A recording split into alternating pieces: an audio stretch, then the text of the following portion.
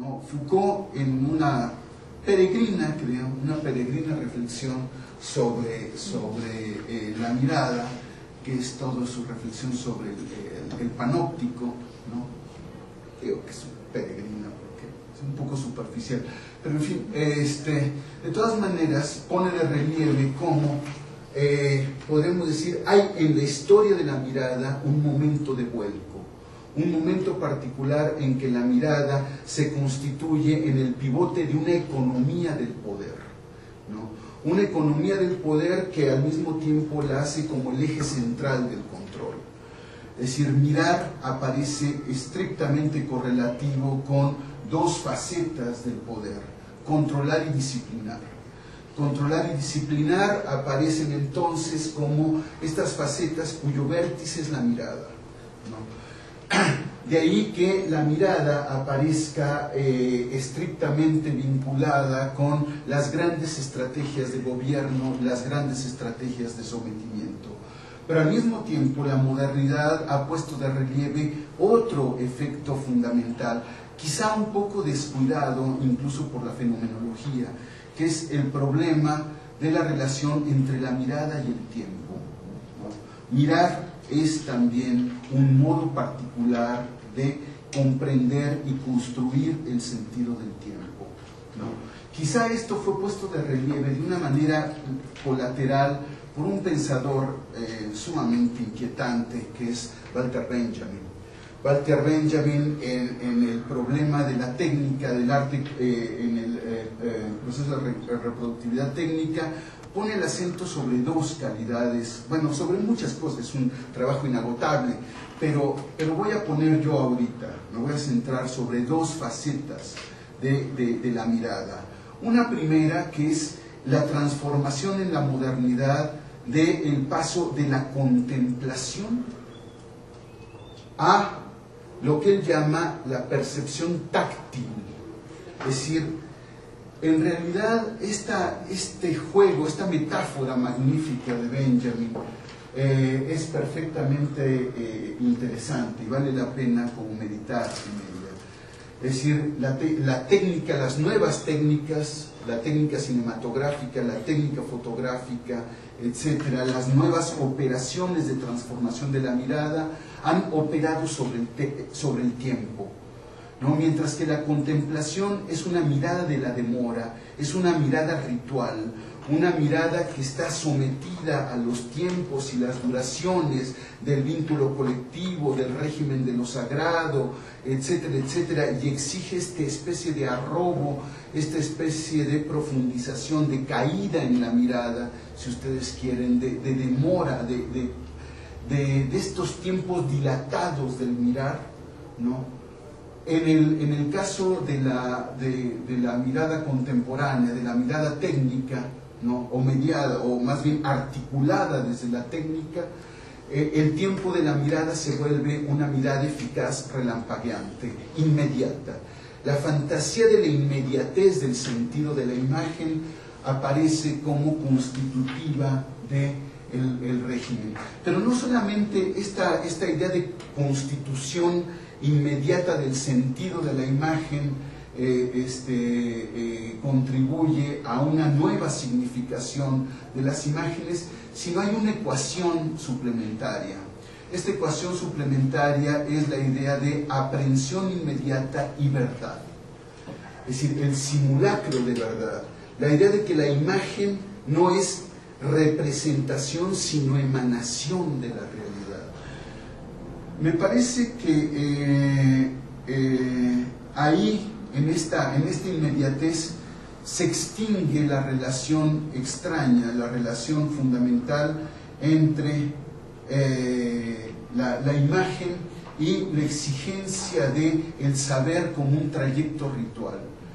Es decir, sabemos que en las sociedades, en las sociedades tradicionales, el saber es en realidad un saber que involucra esta especie de trayecto, de, iniciación, de, enseñanza casi corporal, ¿no? Eh, en la cual el sujeto va entrando al ámbito del saber guiado por, eh, por, eh, por la propia inmersión lenta, con penetración en el ámbito simbólico de una comunidad, participación de sus claves eh, oscuras, secretas, eh, pero también por toda la capacidad de investidura ¿no? del proceso ritual, de investidura de las identidades.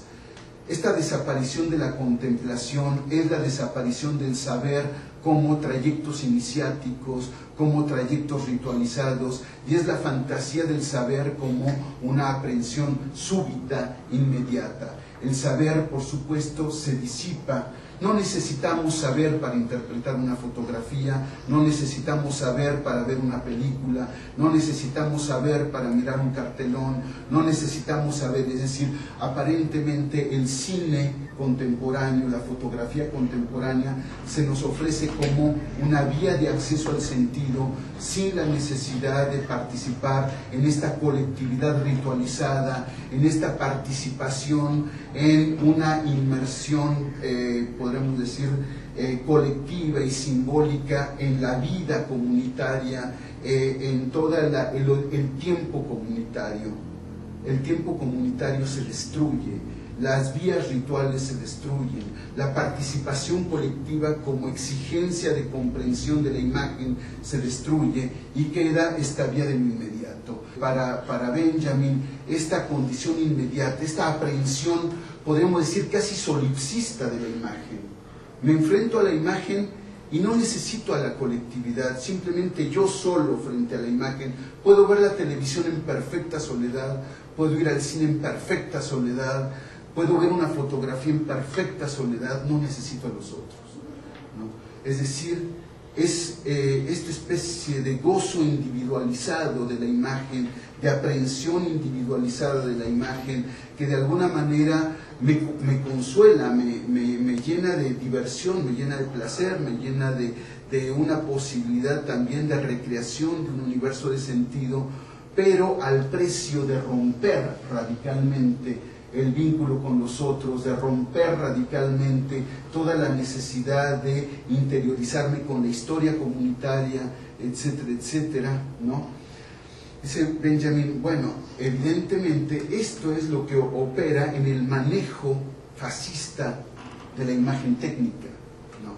De ahí este carácter instrumental de la televisión, para romper la vida de las comunidades, para quebrantar la historia de las comunidades, para romper los lazos y los vínculos comunitarios, para suspender la memoria, por supuesto, la memoria que eh, en este caso aparece expresada en todas, en, en los cuerpos, en la percepción de la imagen, de los símbolos, en la participación ritual, eh, en las técnicas, como Marcel Moss hubiera querido, en las técnicas del cuerpo, etcétera, que están todas involucradas en todo este acceso a, los saberes comunitarios. Bien, todo esto se rompe, ¿no? Y evidentemente se quebranta. Pero no es que se produzca un olvido, sino se vela la fuerza de la memoria y se vela la fuerza del olvido. ¿no? Es decir, en realidad se nos satura de presencia. ¿no? Es decir, la presencia se vuelve un espacio de saturación de la experiencia. Estamos saturados. La mirada aparece como el ámbito de la saturación. No es casual que se hable de una sociedad de la imagen, esta, ¿no? Y no es que estemos todo el tiempo viendo imágenes, toda la vida, ¿no? sino que la imagen cobra esta especie de fuerza, exigencia de presencia, como si solamente a través de la imagen tuviéramos acceso a, eh, a otros ámbitos de la experiencia, a modos del saber, a formas particulares de construir esta especie de eh, visión vicaria de la otredad.